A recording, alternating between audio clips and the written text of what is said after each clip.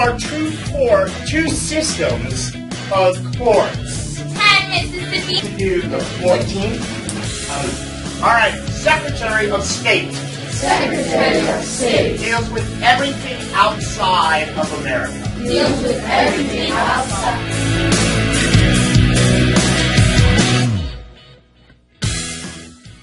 Hi, and welcome back to Mr. Raymond's Civics EOC Academy, where today we are going to learn about ratifying the Constitution, and in particular, the Federalists versus the Anti Federalist. Now, in our last video, we learned about what were called the principles of the Constitution, with concepts like popular sovereignty and checks and balances. So at this point, we've really gone through the whole document and the big ideas involved. And today we are going to be looking at the period between the drafting of the Constitution and its ratification, as this was the period in which the states and the people debated this new document and the extended powers that it would give to the federal government. And more specifically about the creation of what would become America's first two political parties, the Federalists and the Anti Federalists. The Anti Federalists would go on to become the Democratic Republican Party. And this leads to our benchmark, which states to explain the viewpoints of the Federalists and the Anti Federalists regarding the ratification of the Constitution and the inclusion of a Bill of Rights. So, this benchmark gives us a big clue about what this debate needed, and that was should we have a Bill of Rights or not? And just a reminder, teachers, that this PowerPoint and lessons with a variety of activities are available for $1.99 at Teachers Pay Teachers. Just search for Mr. Raymond's Civics EOC Academy. So, as we discussed in one of our previous videos, the Constitutional Convention came to an end in September of 1787, but would not be ratified until 9 out of 13 states approved this new plan for government. And in June of 1788, that would happen. And while you don't need to memorize these exact dates, you do want to be able to put things in chronological order as your state exam is likely to make you do that. Another thing to keep in mind is that some of the delegates at the Constitutional Convention refused to sign this document. They liked things the way they were under their first constitution, the Articles of Confederation. And we have talked at length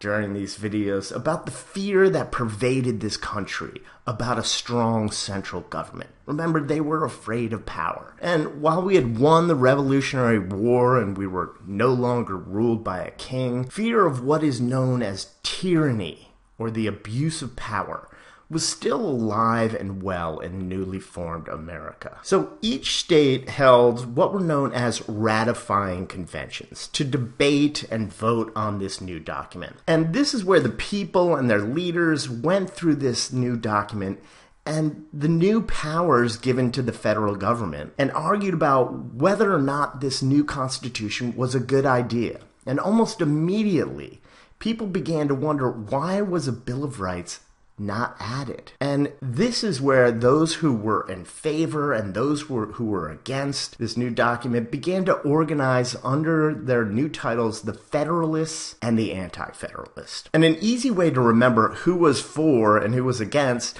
well, Federalist starts with an F and they were for it, and anti, which means against, and starts with an A, well, they were against it. Okay, we see this picture here, which basically tells us about how the antis agreed that the articles needed fixing or amending, but that the new document was too much and they just wanted to stay with the articles. Okay, so here we have a chart, and I would recommend if you're taking notes that you hit pause and write this down.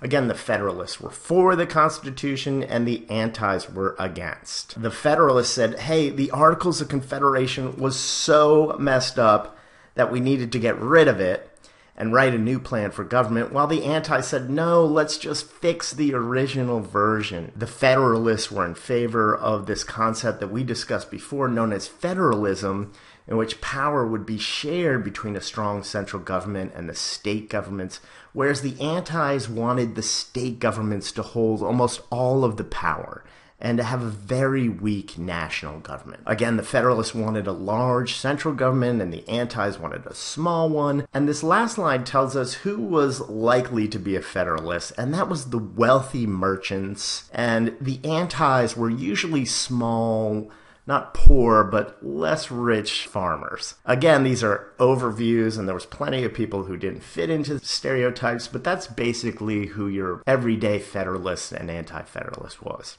Now, in order to plead their case to the people, three of the leading Federalists, Alexander Hamilton, James Madison, and John Jay, started writing newspaper articles under a pseudonym to convince the states and the people that this new form of government was necessary and that there were plenty of checks on power in the new constitution to stop tyranny or abuse of power. These articles push the need for a stronger central government and the need for this new constitution, and they're still very famous documents. They are some of the best defense of this new republican democracy that's ever been written, and they're studied even today by students of government and law, and you're very likely to see an excerpt from the Federalist Papers on your state exam.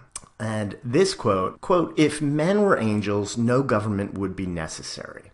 If angels were to govern men, no controls on government would be necessary. This is a famous passage that shows up on a lot of practice state tests. Speaking of not only the need for a strong government, because let's face it, men are not angels, but also the reality that those in government aren't angels either.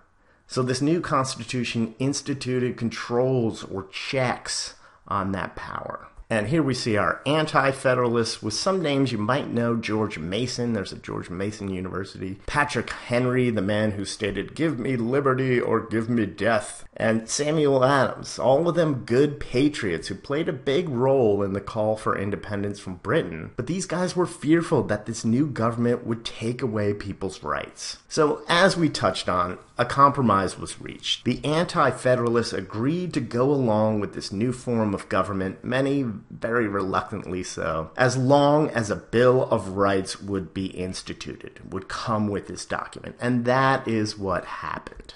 With the promise that a Bill of Rights would be added, state conventions began ratifying the new Constitution. And the ninth state, New Hampshire, ratifying in June of 1788, thus made this document official. Here we see a map with the dates of ratification for each state and where most of the Anti Federalists and Federalists were located. We see the small farmers in pink, mostly in the southwestern areas, while the Federalists were located on most of the coast, especially up north. And they were the people who wanted the strong central government to protect their merchant and trade interests. Okay, they were located along the coast and they did a lot of trading with other countries. So they were most likely to be Federalists. And finally, our new form of government, with its creation of the executive branch headed by a president, became official with the swearing in of George Washington, our first president, in April of 1789. And as promised, our Bill of Rights, which we'll be learning all about in an upcoming video,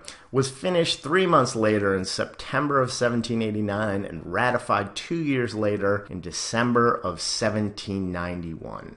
The famous Bill of Rights. So let's review who was against ratifying the Constitution? You remember that, right? They liked things the way they were under the Articles. Yes, the Anti Federalists. What was the name of the famous newspaper articles written in favor of the new Constitution? Do you remember? Mostly written by James Madison? Yes, the Federalist Papers. What did the Anti Federalists insisted be added to the new Constitution? That one's easy. Yes, a Bill of Rights. Here's a tough one. What did Federalists and Anti Federalists disagree most about?